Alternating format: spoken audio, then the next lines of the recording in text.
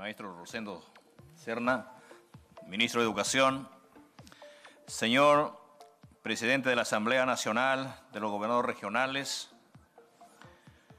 señor viceministro de Gestión Pedagógica, señores directores regionales de educación, señores directores regionales de gestión pedagógica, de gestión institucional, señores directores y directoras de las UGELES de todo el país.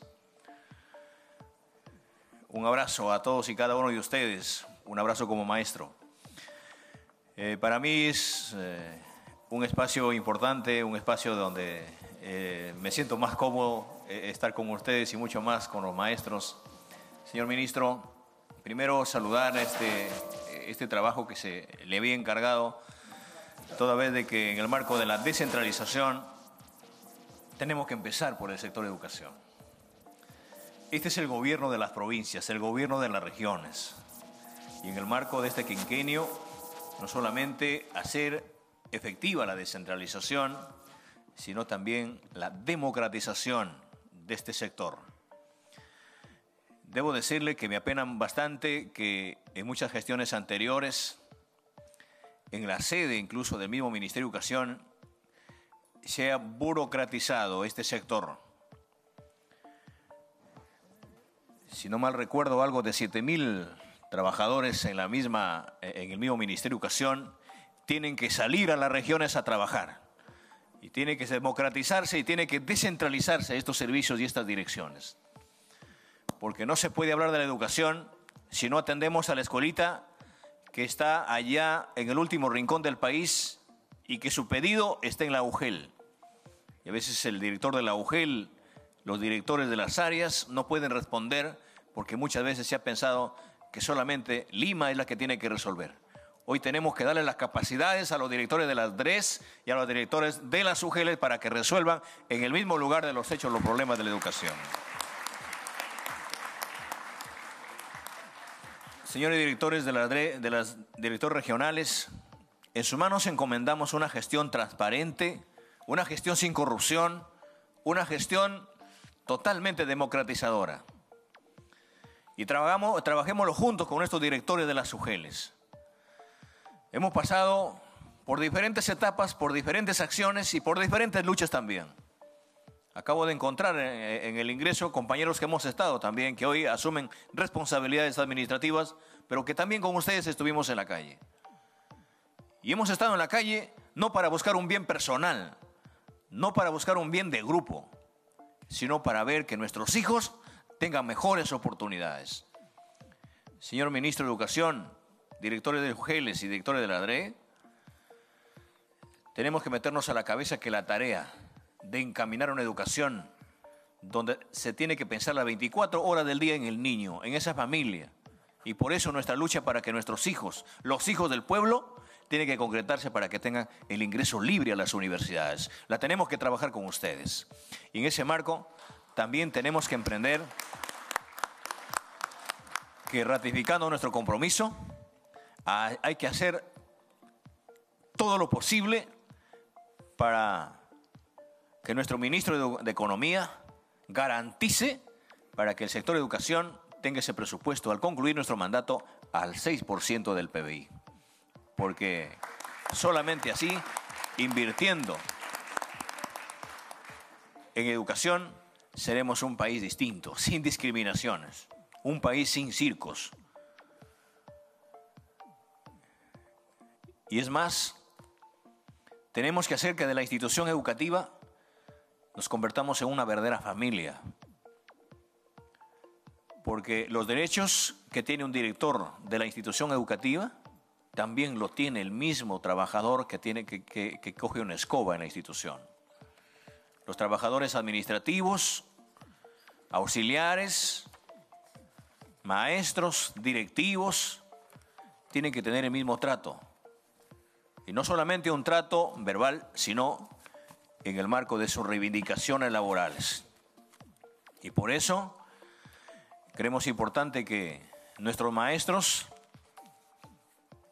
que hacemos un llamado desde acá, para que juntamente con los directores de las UGELES y de la ADRE se involucren a trabajar la nueva currícula educativa que tiene que ser participativa, abierta, democrática, integral, juntamente con, la, con los gobernadores regionales, que participen los alcaldes, que participen los padres de familia. En ustedes, queridos directivos, está esta nueva era de la educación. Hagamos una currícula desde abajo. Le decía el ministro de Educación, hoy es el momento de llamar a los directivos, de llamar a las UGELES, de llamar a la DRES, para escucharlas a ellos y que estas nuevas gestas en la educación se haga respetando la voz y respetando la autenticidad integral y, de acuerdo a la realidad de cada una de las regiones. Y por eso, no solamente que pase por el papel, firmamos algo, sino escucharla y hacerla concretamente. De eso se trata. Y una reivindicación a los maestros del país, que al cumplir nuestro mandato, el maestro de la primera escala, su remuneración tiene que ser equivalente a una UIT. Y por eso es el trabajo que tenemos que asumirla. ¿En qué gobierno y en qué década se le ha dado la importancia de vida a la educación? Nosotros somos un país totalmente milenario, un país rico, un país diverso, multicultural, multiétnico y nunca hemos sabido aprovechar su riqueza que tiene el país. Y la tenemos que empezar a aprovechar a partir de la educación. ¿Cuántos países han avanzado? Hoy son potencia y nosotros, teniendo todas esas ganas, todo ese ímpetu de sacar adelante a la educación, al país, la tenemos que hacer desde este espacio. Yo no voy a entrar en otros detalles. Nosotros hicimos otras luchas, pero corresponde al acto práctico. Hemos pasado por asumiendo, asumiendo dirigencias en los gremios, ha habido plataformas, pero también las plataformas tienen que ser vivas, tienen que ser reales. Hay que pasar de la protesta a la propuesta y trabajar junto con los directivos, porque no solamente es pedir reivindicaciones y a la vez nos convertimos solamente en pedir y pedir y no contribuir. Tengan la seguridad, señores directores de las UGELES, que cuando nosotros bajamos a las regiones, también vamos a visitar a cada una de sus sedes y hacer lo nuestro, las inquietudes y también las demandas que tienen en cada una de sus regiones. Señor ministro, con usted también conversamos que vuelvan esas asignaturas que haga pensar a la juventud, que haga pensar a los niños, que regrese esas asignaturas de filosofía, de historia del Perú, de educación cívica, porque de eso, eso es lo más importante para seguir trabajando por el país. Y a través de ustedes, señores directores, creemos importante decirles de que estamos contribuyendo en la recuperación de los aprendizajes, que los aprendizajes son distintos. Creer cada día que cada niño es, un, es una realidad, que cada niño es un mundo.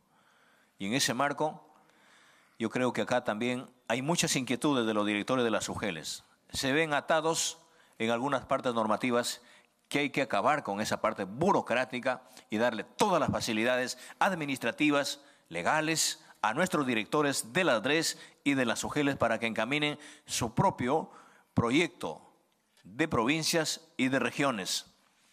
Y lo que, lo que es más importante, ver el tema de la alimentación de nuestros niños. Al ingresar, escuchaba una voz que decía, no sé si era un director de UGEL, y me decía, tenemos algunos problemas con la alimentación de nuestros hijos, la alimentación de nuestros niños.